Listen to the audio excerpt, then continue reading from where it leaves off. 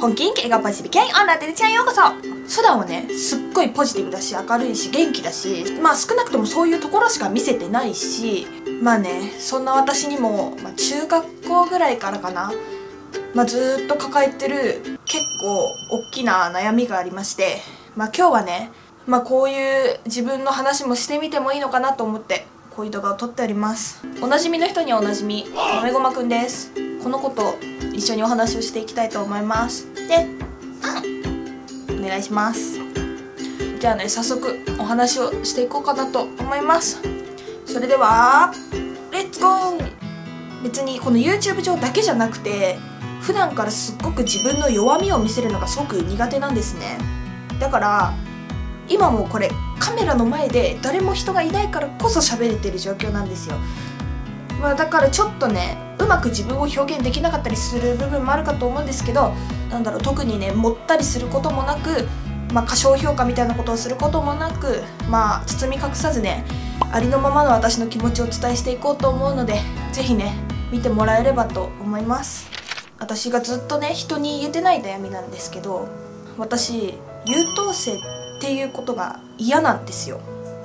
いやこの言葉言った瞬間に大半の人もはやほとんどの人は何言ってんのってふざけんなよって思うと思うんですよ。それがあるからこそ私も今まで言えなかったっていうのもあって何ていうのかなその YouTube の企画でも私ならではのね内容をすごくいろいろお伝えしてるしすごく成績につながるようなことを伝えてるっていうのも事実なんですけど私はその優等生っていう肩書きをすごく窮屈に感じて生きてきたんですね。この中学生ぐらいからもうもう10年間ぐらいかな。そう。ずっと窮屈だったんですよ。すごい例えば人から向けられる視線ってやっぱりあるじゃないですか。でその向けられる視線とかすごいねって言われることに対してそれ私がそれを素直に受け止められたらよかったんですけど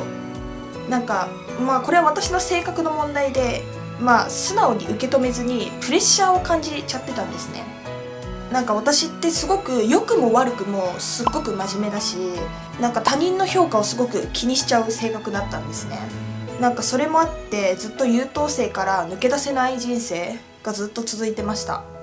まあ今も続いてるのかもしれないですね。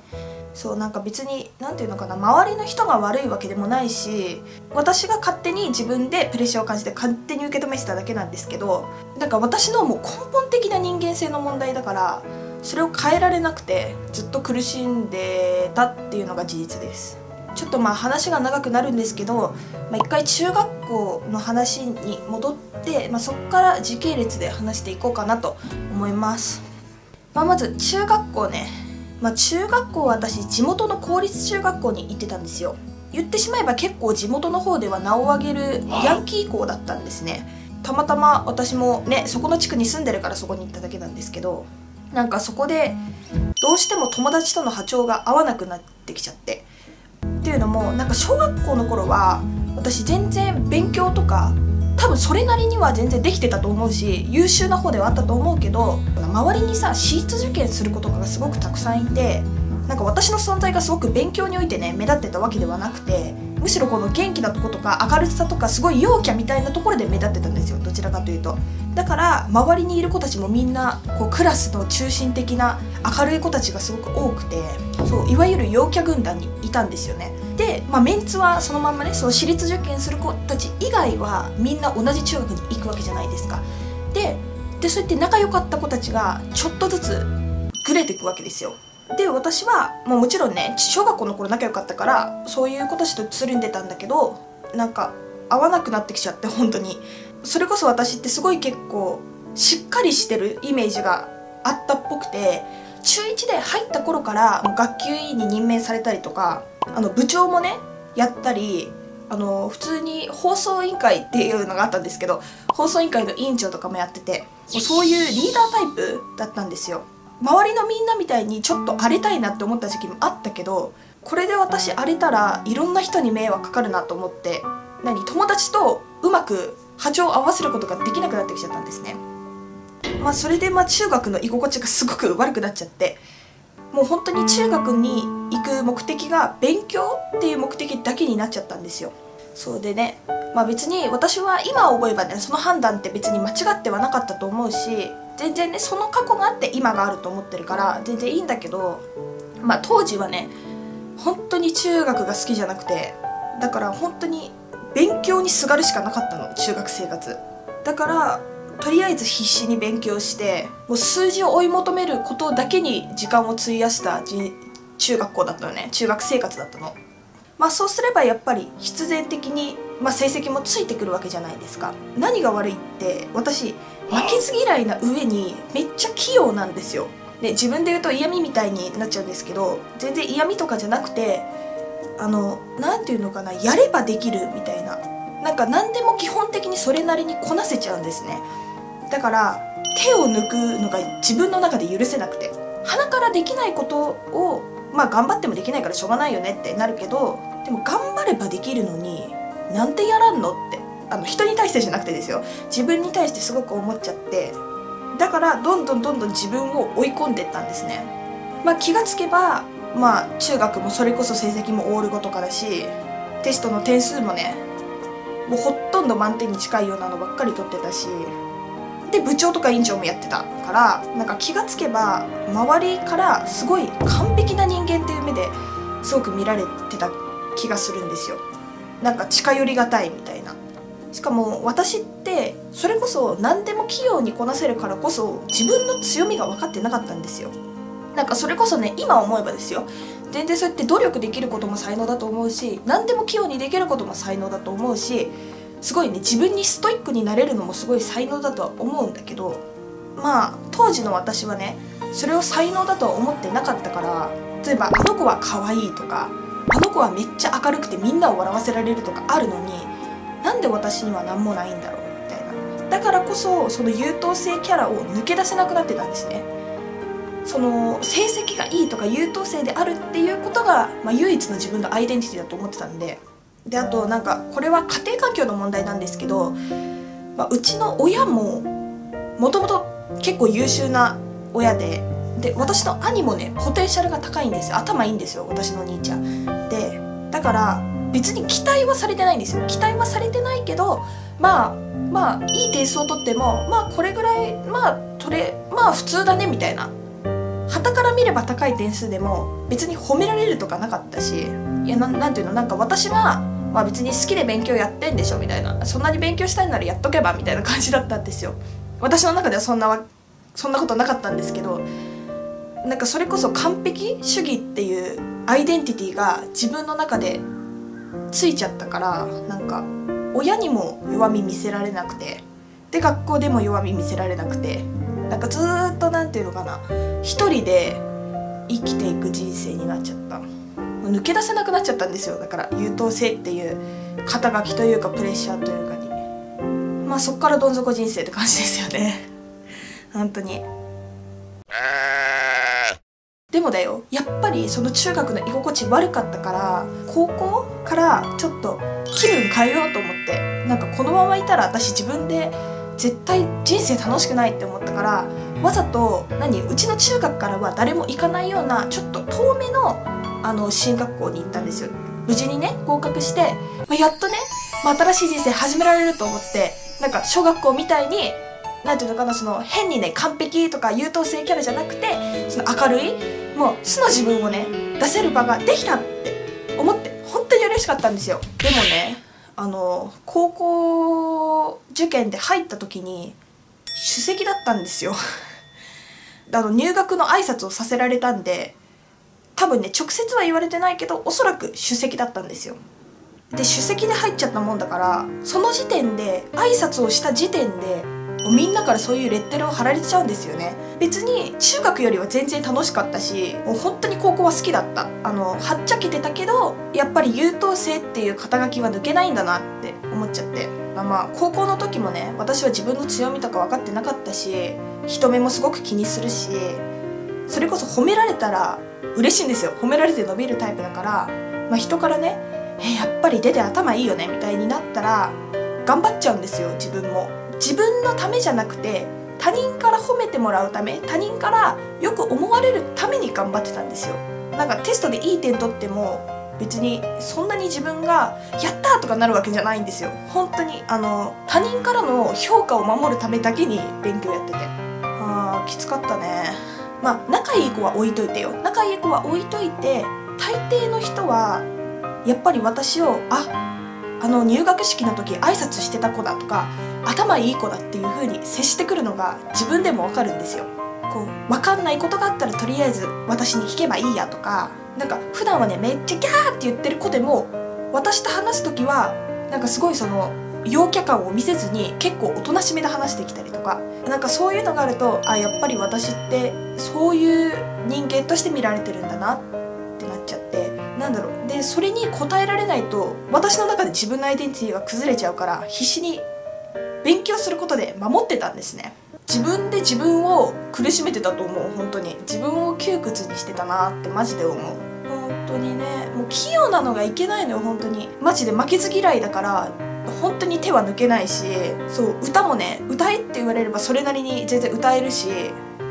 なんか運動もしろって言われたら、まあ、それなりにはできるし本当になんていうの無理だみたいな経験がないから頑張っちゃうんですよね。自分も自分で自分を許せないんですよやっぱり。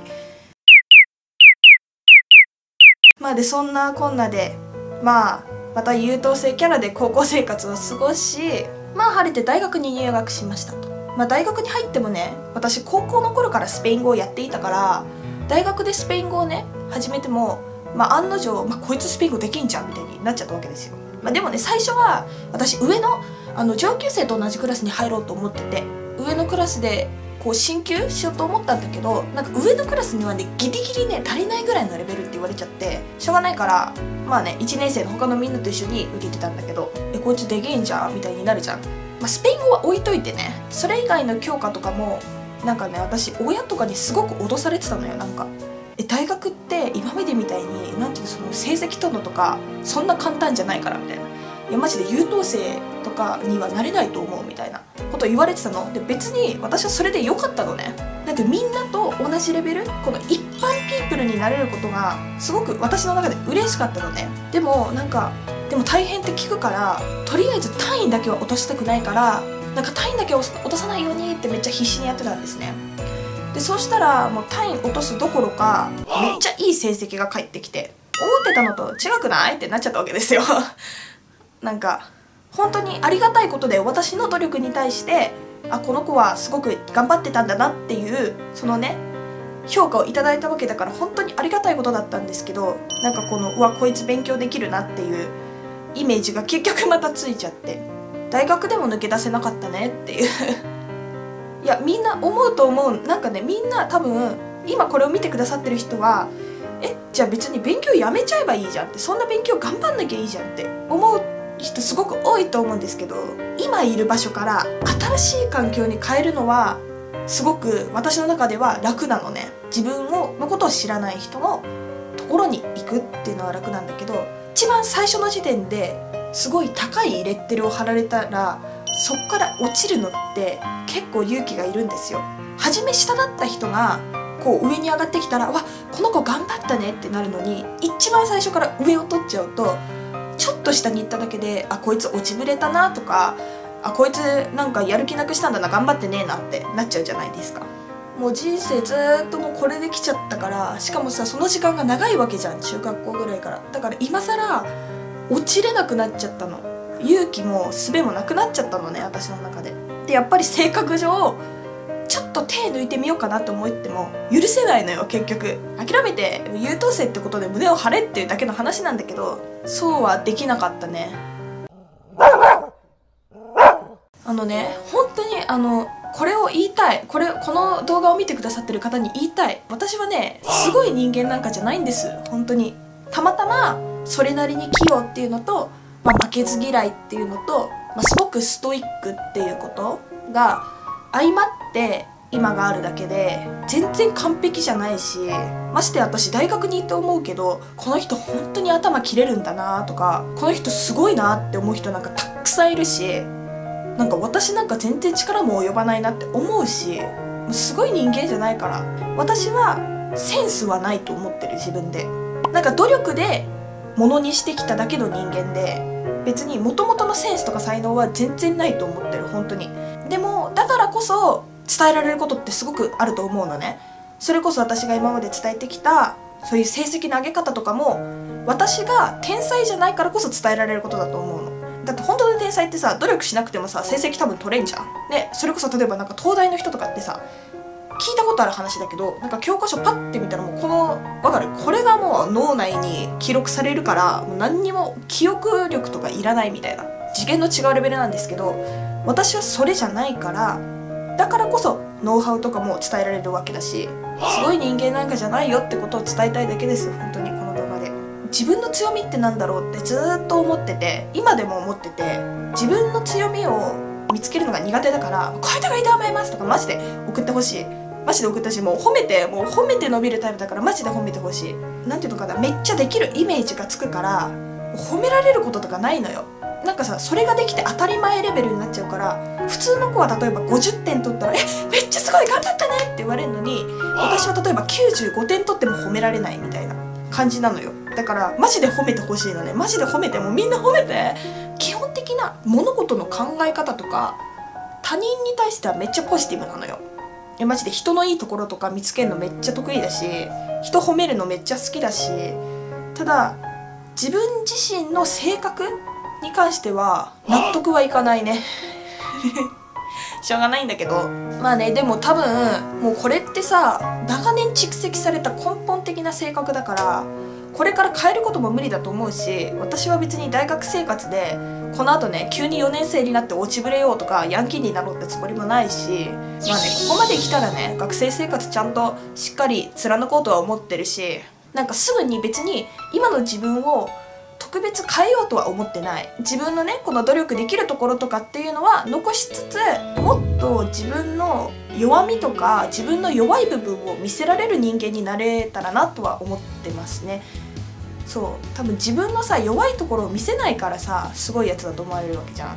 だから私思うの。自分の弱みを見せられる人ってすごいなって思うんだよね。私相談するのとかもすごく苦手だしされるのはすごく嬉しいんだけどね。YouTube を始めようと思ったきっかけもマジで自分を変えたいって思ったのってすごく大きいの。だからさ多分最初の方から見てくださってる方は分かると思うんだけど最初マジでアホみたいなことしか言ってなかったのね。あれが私のなりたい姿でもあるし本当の私でもあるのよ。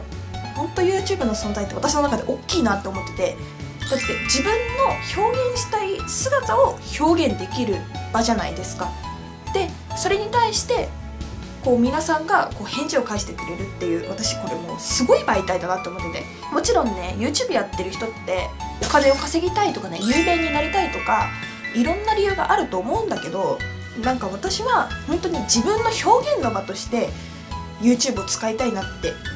思っててでそれについてきてくれる視聴者さんってだからすっごい大事な存在だなって思ってるのね。そうこれからはだからもっとこの私の緩い部分というか人間味らしい部分をね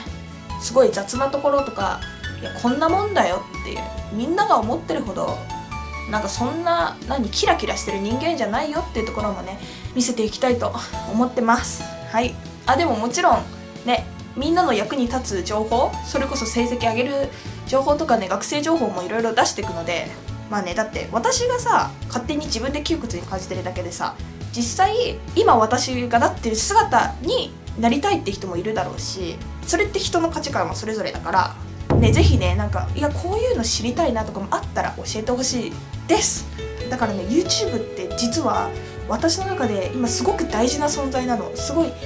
心地いい居場所でもあるのね。だからこれからも応援よろしくお願いします。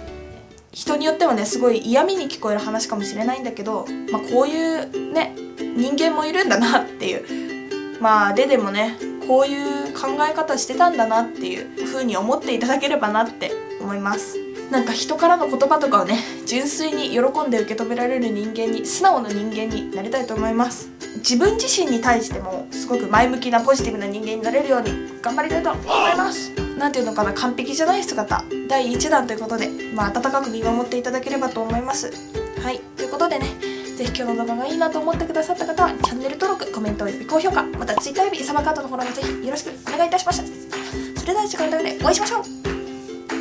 バイバーイ